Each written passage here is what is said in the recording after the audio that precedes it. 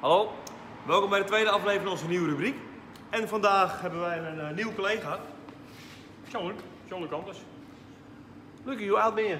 Ik ben uh, 42. 42. En hoe lang zit al bij de brandweer? Uh, een jaartje of 6, 6, 7 ongeveer. En welke functies bekleed je? Manschappen.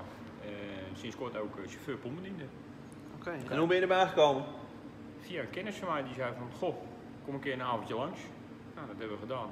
En uh, ja, nooit meer weggegaan eigenlijk. Oké, okay. en wat doe je in het dagelijks leven? Ik ben procesoperator bij een groot uh, bedrijf die uh, biodiesel maakt. Oké. Okay. En is het te combineren met de brandweer? Ja, ik werk in de ploegendiensten, dus ik ben ook heel vaak overdag, s'avonds en s'nachts thuis. Dus dat, dat is heel goed te combineren. Mooi. En welke auto is je het meest bijgebleven?